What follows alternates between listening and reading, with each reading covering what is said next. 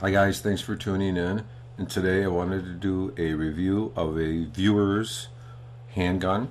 They sent it in, and this is a picture of the actual uh, viewer's handgun. And the viewer, YouTube viewer, is Prepper Potpourri. And this is their uh, Rhino 200D 357 Magnum.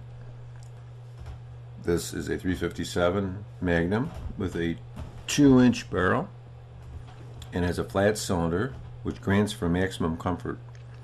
Uh, it has the better aligned uh, with most chamber which is the key component. The position of the barrel lowers the center of gravity and yields a center line of bore more in line with the shooter's arm allowing for the most natural pointability.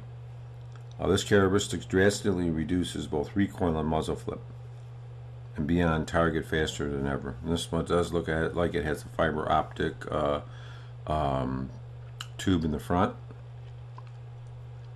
Um, this is allowing for greater concealment, featuring double action and single action characteristics. The single action is actuated by the hammer cocking device, which engages the unexposed hammer to prepare the fire. This one here is double action and single. A great looking gun. Um, it's a very high-tech, modern-looking gun, and I could just look. I, I've never myself owned one. They'd be nice to pick up next to pick up one, but uh, this is the Rhino 200D in the 357 Magnum by Chippewa Firearms, I guess, and I don't know if I'm pronouncing that word correctly. C H I A P P A.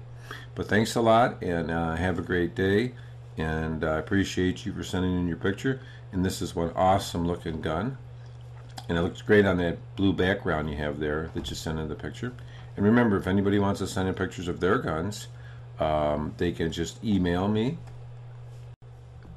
And the email address is right above uh, the Rhino. It's R-E-P-L-Y-I-N-C-C at gmail.com.